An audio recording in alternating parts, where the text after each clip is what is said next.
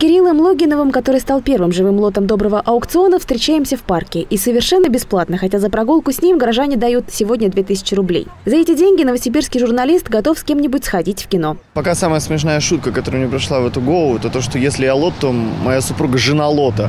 Я в комментарии к фотографии, в общем-то, объяснил, что у меня из-за работы и семьи практически нет времени на то, чтобы куда-то сходить.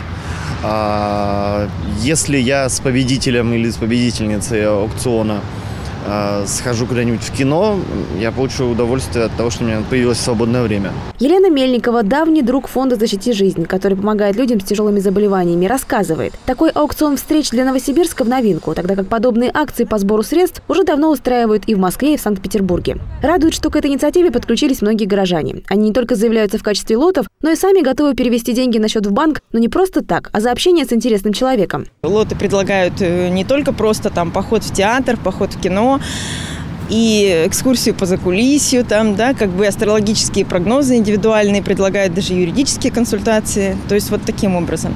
Ну и самое главное, покупатели, они э, помимо того, что они имеют возможность внести вклад в спасение жизни другого человека, да, они получают э, очень ценное это встречу, знакомство и самое главное живое общение, потому что сейчас, когда люди общаются в основном в соцсетях, да, вот этого не хватает. Алексей Федоров стал тем самым человеком, ради которого и устроили аукцион. В прошлом году мы снимали о нем сюжет. Тогда друзья молодого человека расклеивали объявления в школах и всем миром старались собрать средства на его лечение. О том, что происходит в интернете сейчас, не знал. Стесняется, старается не вникать в суть благотворительных акций. Да я только сейчас узнаю об этом, я не знал даже. Ну, приятно, конечно, что ради меня такие акции устраиваются. И, конечно, это со стороны очень мило смотрится, когда девочка там несет э, последние обеды не тратит деньги, а дает какому-то незнакомому мальчику свои последние 20 рублей. Ну да, со стороны это смотрится мило, но каково это самому мальчику ощущать? Надежда на выздоровление есть. За год Алексей успел пройти лечение в Израиле. Правда, там очень дорогая страховка, пришлось отказаться от услуг врачей. Затем было лечение в Москве, теперь мама Леши и он сам ждут операцию. Сейчас, Алеша, ждем пересадку ауто, пересадку в клинике нашей НИИ при горбольнице. Будут делать пересадку своими стволовыми клетками.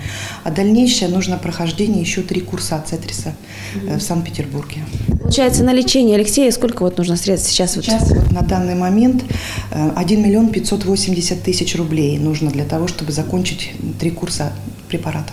Организаторы говорят, аукцион продлится до 25 октября. Безусловно, фонд «Защити жизнь» параллельно с аукционом проводит и другие мероприятия по сбору денег на лечение детей и взрослых. И все же эта акция, пожалуй, одна из самых душевных и, кроме того, позволяет привлечь как можно больше неравнодушных.